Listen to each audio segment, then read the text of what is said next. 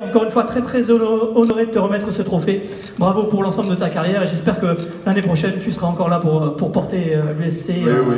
en Pro a 5 ans, je crois. On l'applaudit, mesdames et messieurs. C'est une belle récompense. Après, voilà, je suis mis à l'honneur, mais je pense que c'est toute l'équipe qui a accrédité de, voilà, de cette fin de saison l'année dernière qui a été euh, belle et, et, fatigante, éprouvante. Donc, le repos a fait du bien à la fin de saison.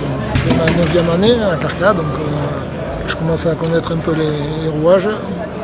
Voilà, j'ai vu un peu se, professionnaliser, disons, et, voilà, c'est des bonnes choses. Il faut que, ce club continue à exister, à vivre en Pro D2. On fera tout pour.